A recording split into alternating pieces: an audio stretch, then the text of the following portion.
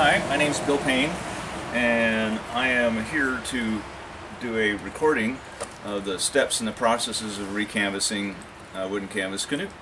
Doing this for the uh, Northwest uh, chapter of the Wooden Canoe Heritage Association, and with my son-in-law, Edgar Valen Valentine's good help. He's uh, operating the camera, and we'll do some work. So why don't we go into the shop?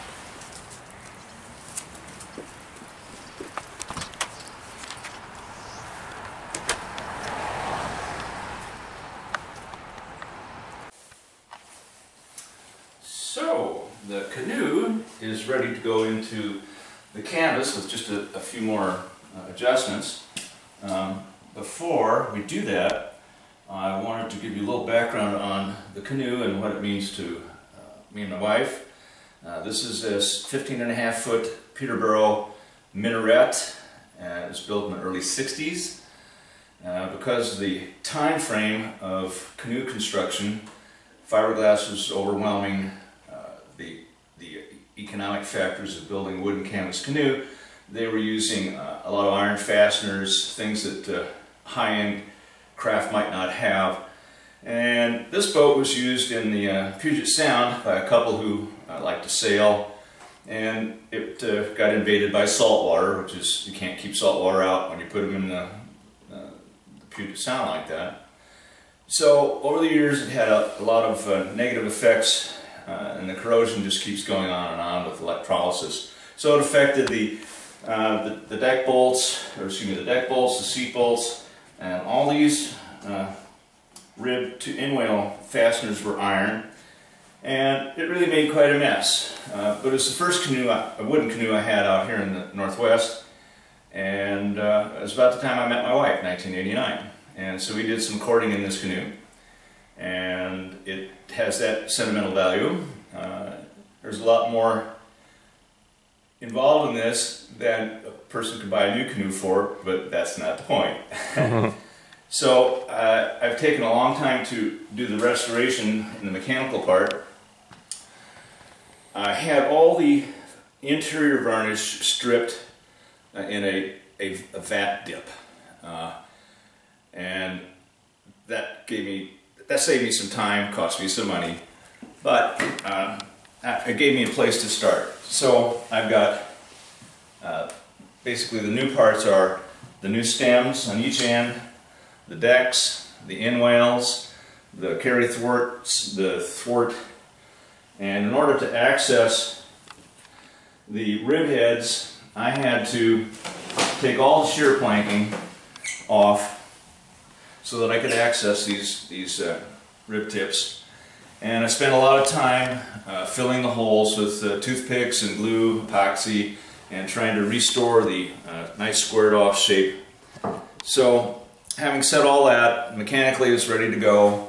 Uh, I did my varnish on the canoe before I put it in canvas. Sometimes varnishing a canoe inside of a canvas job, the, the varnish will kind of uh, wick through and it'll kiss the back side of the canvas and it makes kind of a, an unsightly look. It's hard to cover up with the filler. Um, and here's, here's a picture of Ursula and I. It's down in Oregon. And this is what it looked like back in about 1990, 91.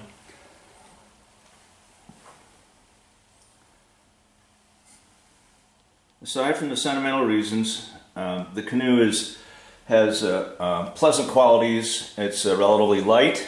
It's a it's a wonderful day tripper for two. Uh, it's a lovely solo canoe, and it's not too tender. I've I've been in uh, boats of this size that are pretty tender, so it, I don't have to be on my guard all the time. so. Let's have a look at some of the uh, the materials that go into this and the tools before we go to the canvas canvas work. It's all pretty basic stuff. Some of it's kind of specialized. Um, clinch iron, nice brass one, bronze one. Canvas pliers uh, for stretching uh, at the, at the uh, shear line. the brass tacks and the copper tacks and Rollin Thurlow's wonderful Northwoods Canoe Company canoe canvas filler. Uh, and just boxes of screws and fasteners and materials like that.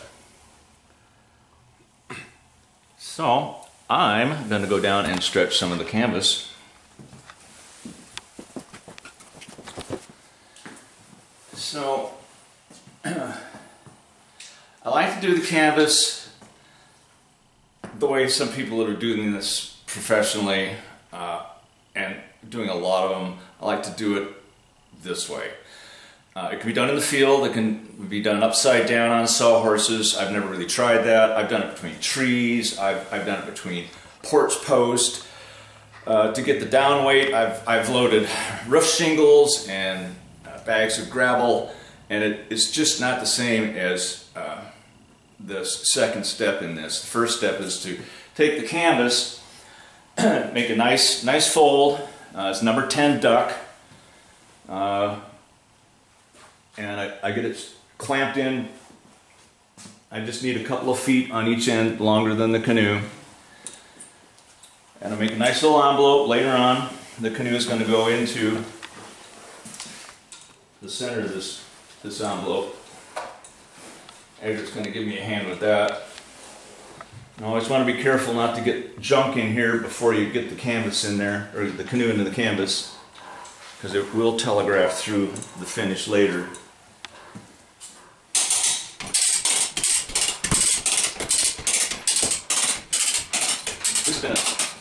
This has been, uh, drawn out tight for a few days, but here at the last minute I decided to change the height on this to a what I think will be a, a, better height. This is the first time I've done this canvassing in this in this situation, so it, it might offer some surprises. And check things, not coming off the wall. And I'll try to be quiet, but the tension you want gives a little thump.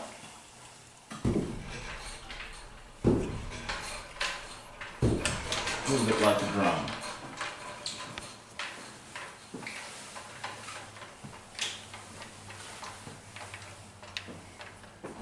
Now as this has stretched out a few, few days, I don't need to leave it in this position too long. I'm just going to go right to the next step, which is putting the canoe inside.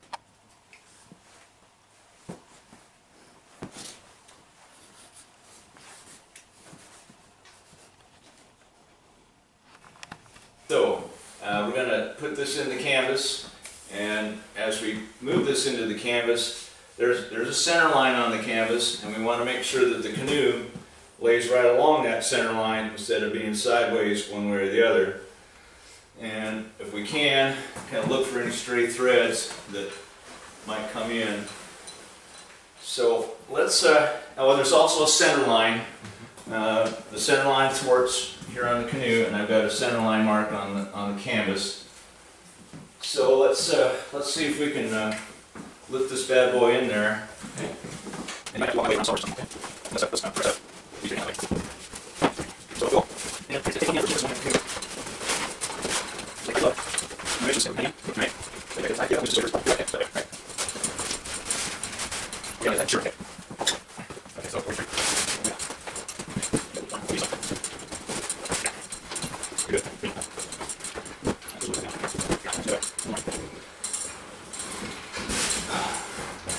Yeah, that's good enough.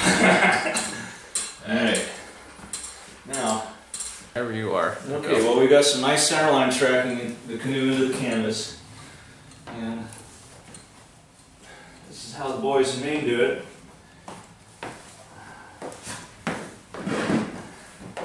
If I can do this without hurting myself.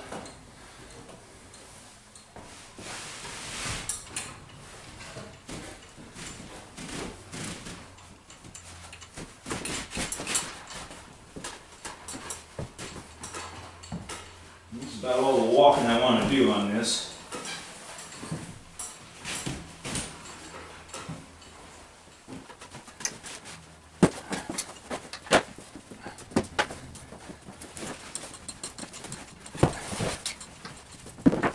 This, this is here. Been waiting to do. Go ahead in here. Jawbone right now.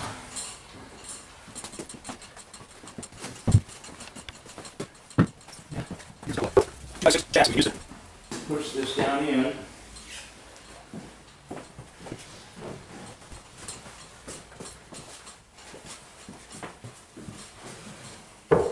I'll just kind of tension it. Yeah. Or, or just take up the slack.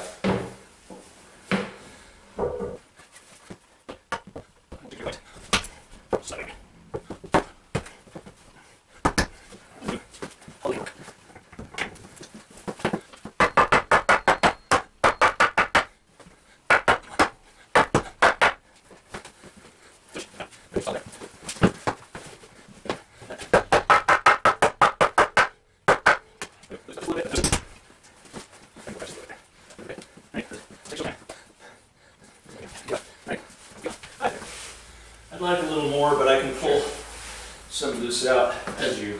Yeah, I've got a lot of material right here, and that's that's also acting as drag to putting it where it should be. Gotcha. So I'm going to take my other clamp. Yeah.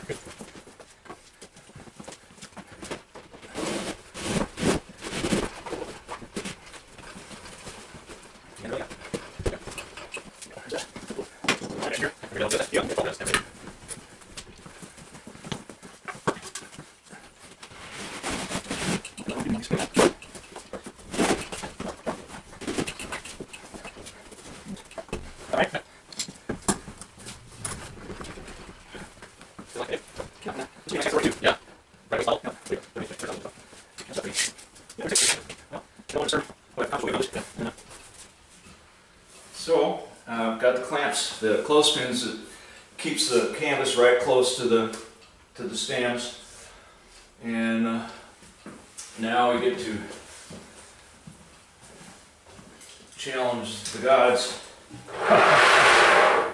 and trim away some of this excess.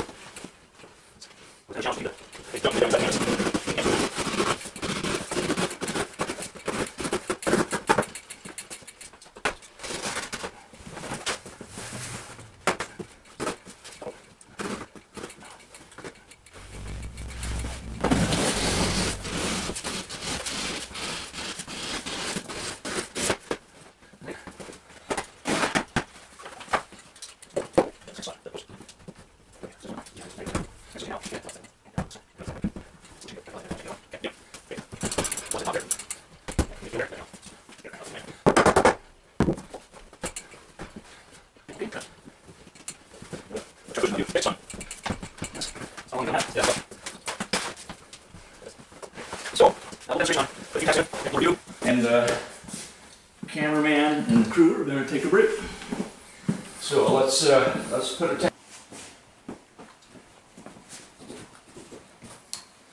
So the operation here now is to put two brass tacks about an eighth of an inch down from the from the planking and about three quarters of an inch apart on either side of center. Well, three quarters of an inch apart, centering up. Because the ribs are, are fastened with a couple of ring shank bronze tacks. They're a little further apart. You just want to avoid those. And you stay out of the center because uh, when it's time to install the outwale, uh, periodically you're going to be running a screw right through the center. And even though these will gobble up in a, in a drill,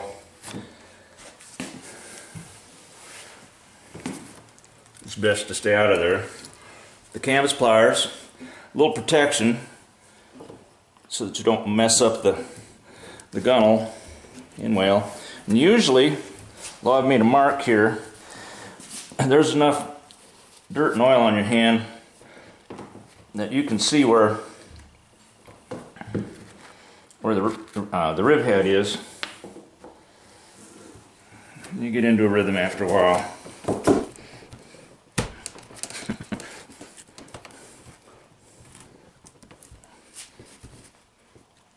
Oh yeah, thank you.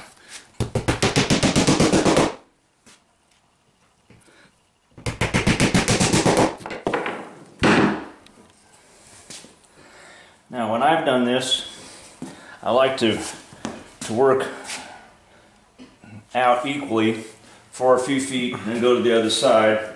But uh, Rollin Thurlow's description of doing all this is he'll take it from the center and go right up to the last full rib, and then he'll start at the middle again and go right to the last full rib, right up to the deck, and then he'll go to the other side, center to each end, center to the other end. But I'll probably stick with what's been working for me. Alright, so we got another one to do here.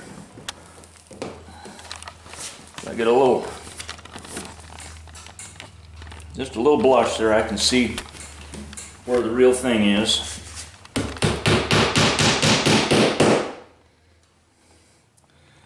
Well, it's a different day, we're back. While Edgar was charging the batteries on the recorder, I had gotten started on the tacks at the shear line. I think I probably got about three pairs in, and uh, uh, then Edgar had to go away, and I finished out the tacks.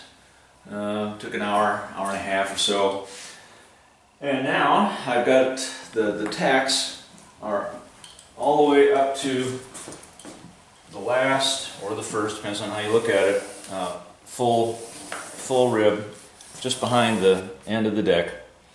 And that leaves some tacks to put up at the shear.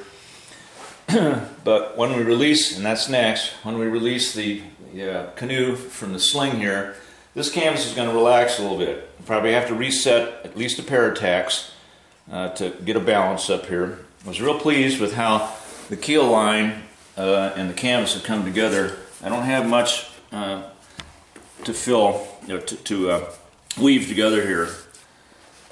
So I guess the next thing to do is to um, prepare to cut this loose. Edgar's going to give me a hand on that. I'm going to slip some different sawhorses underneath it. These are just in case I had a catastrophic failure of my. Let's. Why don't you take that two by four, and I'll take this.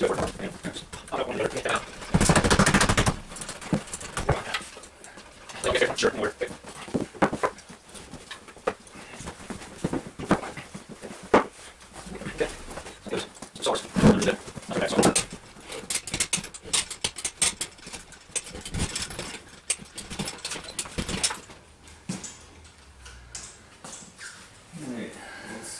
Want, want me to take this off? Um, what I'm going to do is cut it off. Oh, So, okay. here's where the stem is, Okay. and if I cut on this side, I'll have all the material I need to close the end here. Okay. I got the boat.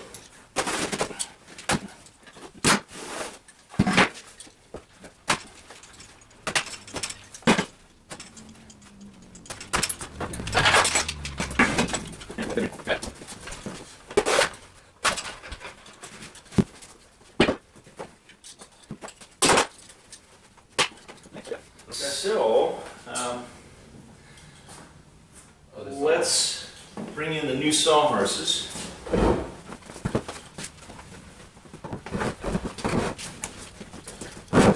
Alright,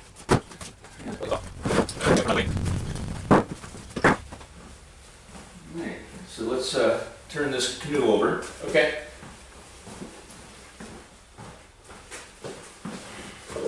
Before, before you do that, well, the camera's real close there. You can see there, the canvas is pulled back a little bit, and that's but that's going to come out when we get this turned upside down.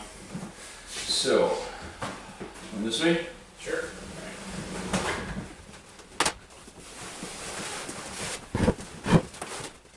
If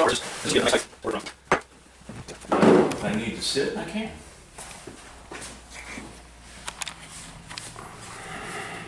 So So the, the tool that comes in handy here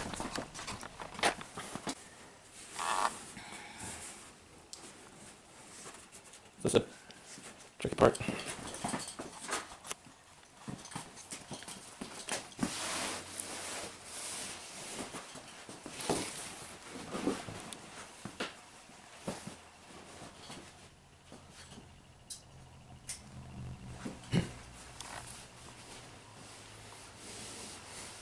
So this was the center line of the canvas when it was in the envelope, and it's a pretty good fit to the center line of the canoe. Um, aside from making adjustments at the end here, making some of this go away, we have to cut the canvas. Are we wrong? Yeah, okay. So I have to cut the canvas and flap on this side, flap on that side, tricky part is to pull one over and put some bedding compound down the stem and start to tack it out. I like to put a tack, I'll show you that later, uh, a place about right in here that sort of acts as a mechanical resistance to the canvas running. is not likely, but uh, I kind of like to do that anyhow. So I'm going to come to get a pencil.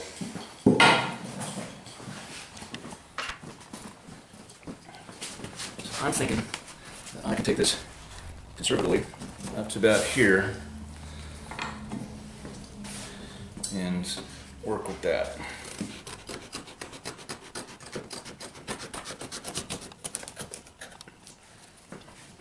Yeah, kind of glasses here.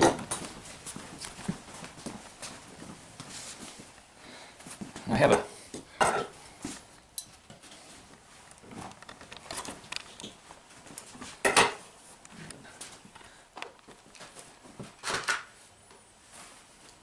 Let's see. well, I'm and I want to finish out the second flap on this side. So I'm going to work on attaching this side first. That way I'll be more comfortable in the hand. Mm-hmm.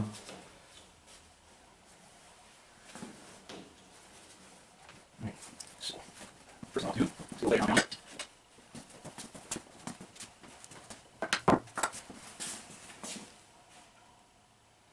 Little Dolfinite.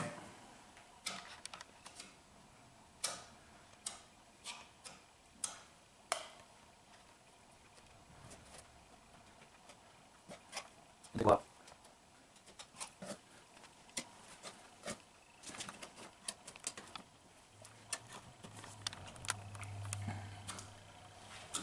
This canoe was manufactured with a, uh, a what they call a shoe keel. Uh, it's about two and a half inches wide and about a half inch thick. And at best, it offered some uh, protection on beaching and the like. I have removed that feature of this canoe. Uh, for one thing, it's a place, all the screws that come through from the inside uh, gives water a place to come into the boat. And as it is, the only real place water can come into this boat is right here in this this intersection. Alright, so we'll get this cleaned up so it doesn't ooze everywhere. And there's that.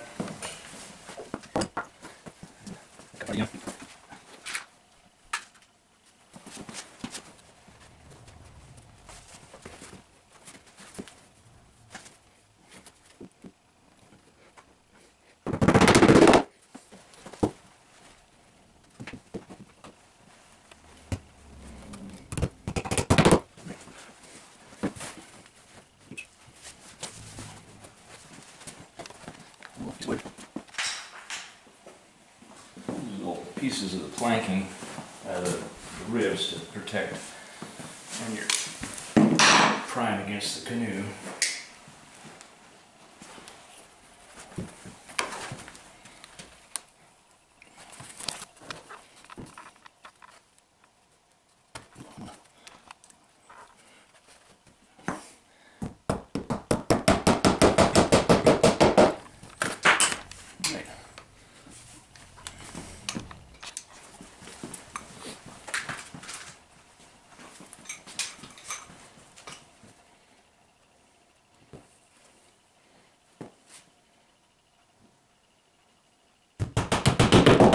your soundtrack about now.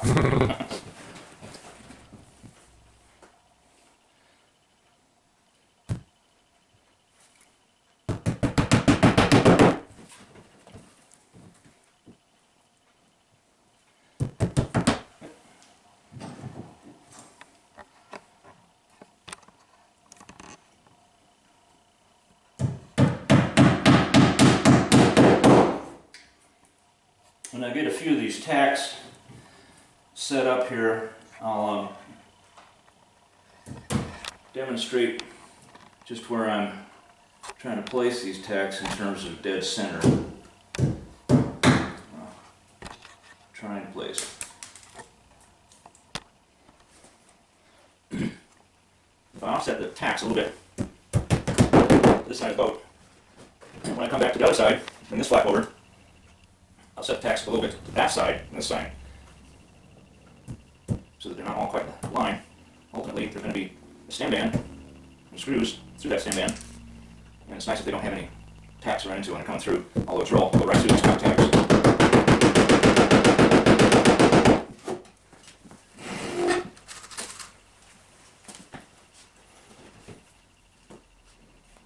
So when I get the tacks into the stem,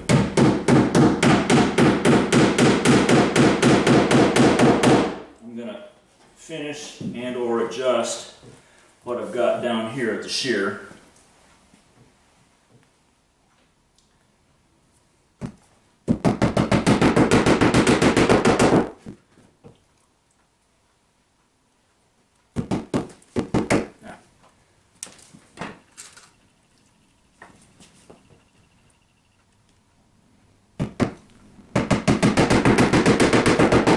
These tacks, they're the copper ones or the brass tacks, because they do such a good job with the sharp point. Just get them into the canvas. Now stay put so you can do this work with one hand.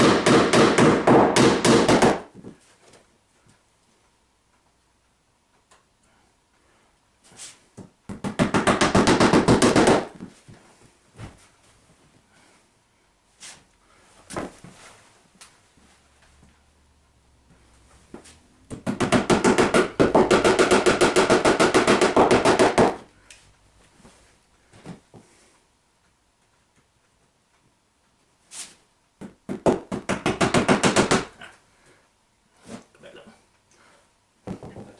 Wait. That's right. Okay.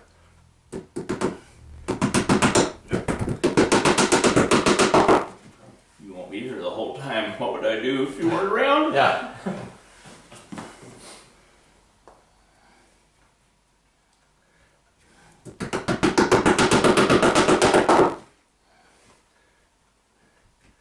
Get closer.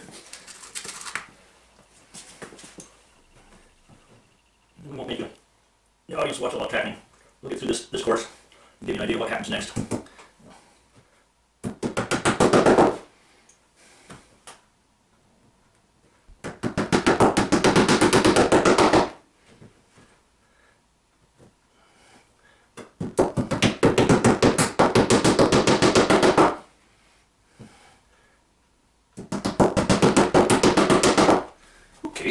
Uh, get a different type of tack and finish that side.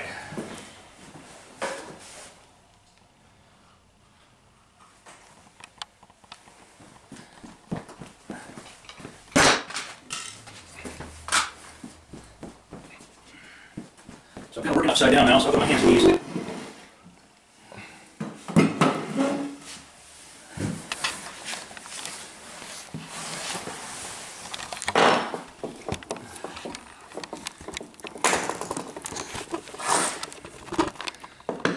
I'm going to relax this set of tacks. There's a lovely little set of pliers for this. Very delicate, sharp points. Gets right in there. And these are just tapered tacks, so they'll come out real easy. Let's be gentle with the canvas. I've already kind of laid out where the, the ribs are here, so I don't have to do this too blind.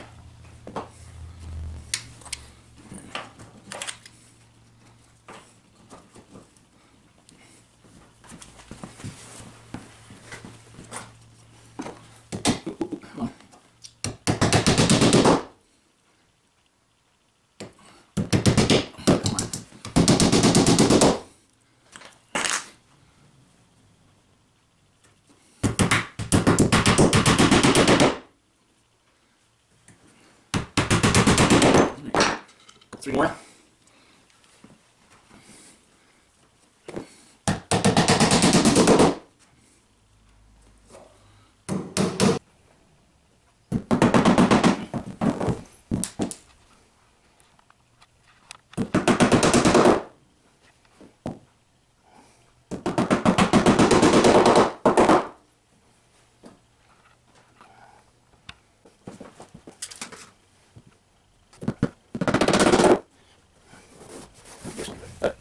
So it's here.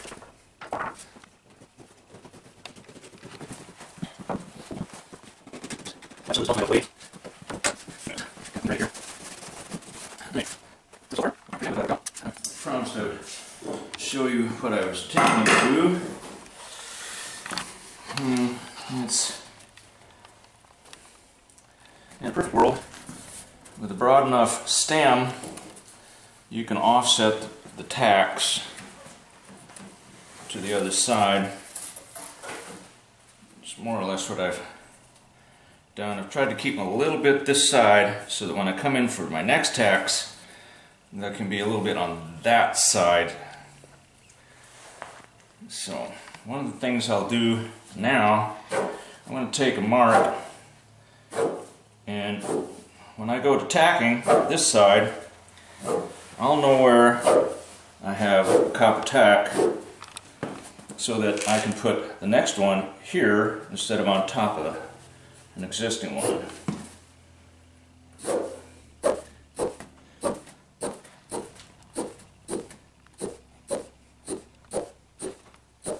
Alright.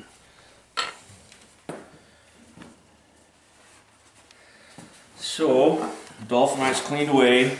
I can adjust any of these tacks here individually as I want when I have a chance off camera to look it over good. Now, nice pair of shears are a delight. As long as it's in use. I was using my cutting protect holes.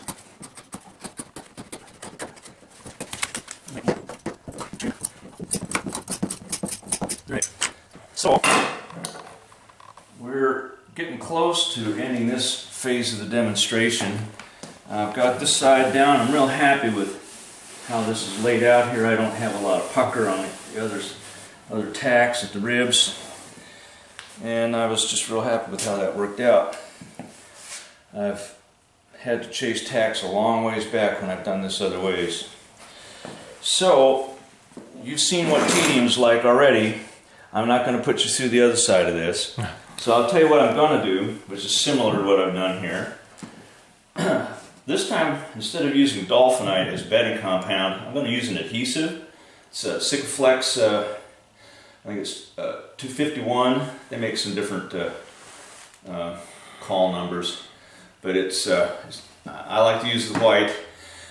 Uh, when it cures, and it's not fast cure time, uh, it'll be it'll be gummy in six hours, and uh, tomorrow this time you'll have a hard time cutting it off with a knife. It's it's uh, it's not a caulk; it's an adhesive. Mm-hmm. Um, I like to try to buy the marine uh, the product from marine stores rather than the uh, uh, uh, the lumber yards because they tend to cater to their formulas their formulas to the construction industry. Um, I suppose Dolfinite'd be just fine on this, except that I really like to know that the stem is not going to be leaking. So it's a messier operation because uh, it has to be cleaned up with mineral spirits. Uh, but there's enough open time that you can work it and uh, you, you, can clean yourself up after you're all done uh, and the tools. So uh, uh, anything else that I... Yeah, I can jump you one step ahead here. So so I'm going to get this rolled over with the right amount of Sikaflex in here, make sure I've got a nice, this is the end of my cut. It's not going any further there. And, and I'll be able to take this little bit of sag out down here when I get around to that part, but I'm going to attach it at the stem first. So I'll get that put up there, tack down, adjust the tacks over on this side as necessary, and once all cleaned up, I let it alone. I go to the other end.